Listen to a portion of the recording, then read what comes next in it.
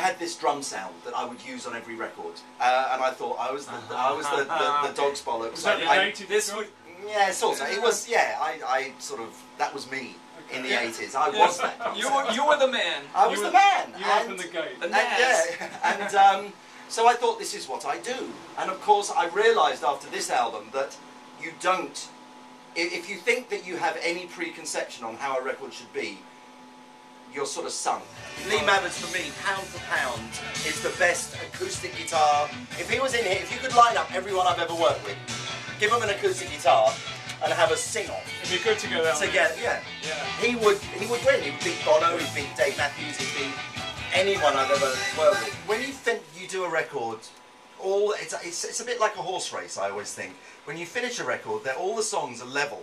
They're all lining up together, and then history go things happen and, and time goes by, and certain songs go ahead of other songs. But really, when you finish it, you don't know that um, that that anything is you know because it's like your children you know do you love any of your children more than any of the others? You don't. You just you, you do you try your best on everything. So you I, I didn't really you know this was just another song on the album.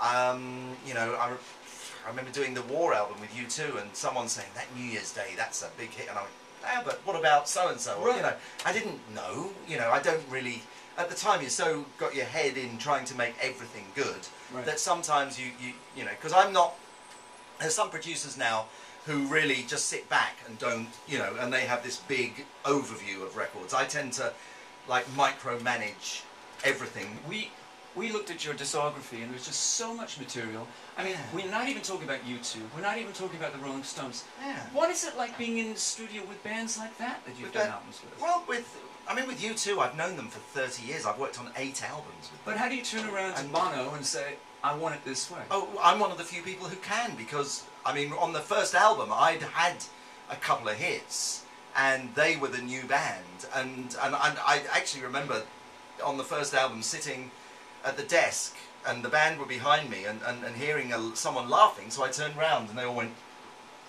like that, you know, and um, and and it's funny that my relationship with U2 now is that whenever they see me, it's like, oh, Steve's here, we better get down to work.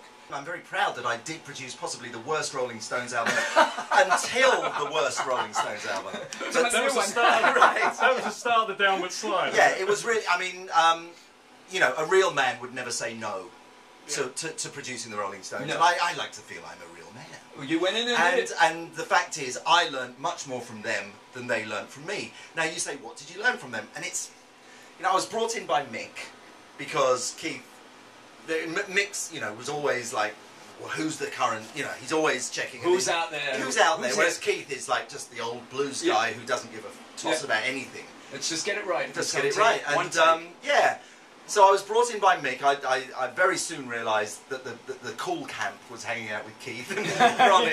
yes. um, which I ended up doing rather a lot. And, Um, uh, Shall we not go there? no, no, no, no, but it, no, but it was good, and I, I did learn. But but it's difficult to explain in words. I mean, Keith's cool thing, you know. I mean, he he really was, you know, it. That not much was discussed, you know. The the whole analysing of anything was was very uncool, and and and it was.